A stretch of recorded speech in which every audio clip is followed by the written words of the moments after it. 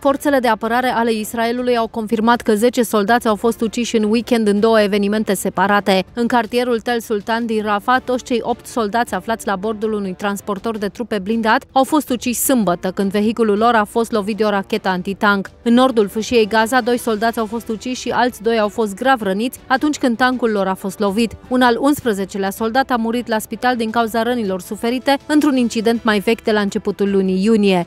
Comentând cu durere numărul mare de soldați morți la datorie, premierul Netanyahu a spus că, cităm, nu există nicio alternativă la victorie, trebuie menținute obiectivele. Armata israeliană a anunțat mai multe schimbări de tactică militară pentru a evita în viitor astfel de pierderi grele. Printre ele se numără o așa numită pauză tactică în operațiunile militare de-a lungul unui coridor folosit pentru furnizarea de ajutor umanitar în sudul Gazei, lângă trecerea Kerem Shalom. Interesant de menționat este faptul că Netanyahu și ministrul apărării Yoav Galant nu au fost informați în avans cu privire la decizia IDF de a face pauze tactice.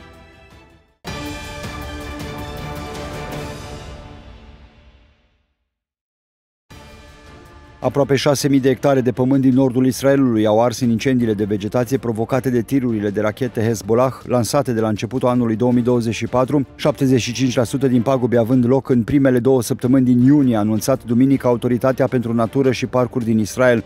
Potrivit datelor autorităților israeliene, zonele care au suferit cele mai grave pagube până acum sunt în Galileea Superioară și Golan. Peste 3000 de hectare au fost incendiate în Galileea Superioară, în timp ce mai mult de 2200 de hectare au fost arse în Golan.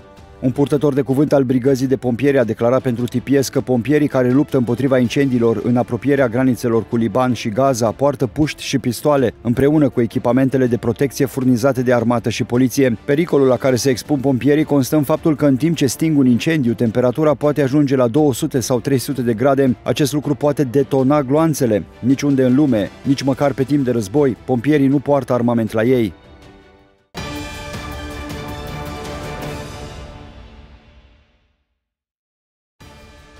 Președintele francez Emmanuel Macron a făcut o propunere de oprire a războiului dintre Israel și organizația teroristă Hezbollah, aflată pe teritoriul Libanului, spunând că Franța împreună cu America și Israelul ar trebui să colaboreze pentru dezescaladarea tensiunilor militare. În timp ce a făcut o declarație în fața presei în cadrul summitului G7, a exprimat o viziune împărtășită de liderii G7 cu privire la situația față de fâșia Gaza și respectiv Liban.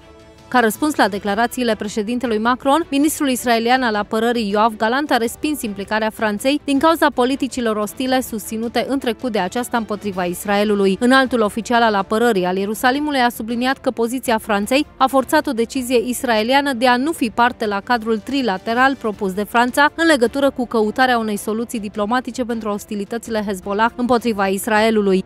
Declarațiile ministrului apărării israelian au fost criticate de opoziția din Israel, care a spus că acuzațiile îndreptate către Paris sunt neadevărate. Franța a jucat un rol activ în apărarea Israelului în fața atacului cu rachete al Iranului.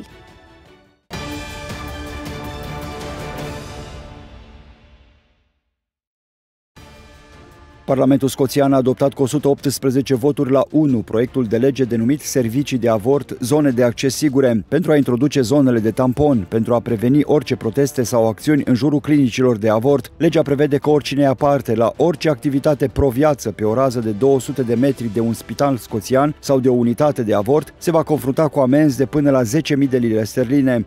Organizațiile pro-avort au salutat noua legislație, dar organizațiile pro-viață s-au arătat dezamăgite. Pentru Michael Robinson, secretarul general al Societății pentru Protecția Copiilor Nenăscuți, proiectul de lege este profund nedrept și, drept urmare, polițiștii vor putea interveni în zonele vieții private în care statul nu are dreptul să se amestece, și anume gândirea privată și în rugăciune. Parlamentul Scoției a călcat în picioare cel puțin patru convenții europene ale drepturilor omului și a introdus crima de a gândi în societatea scoțiană. Aceasta este într-adevăr o zi întunecată în istoria Scoției, a încheiat el.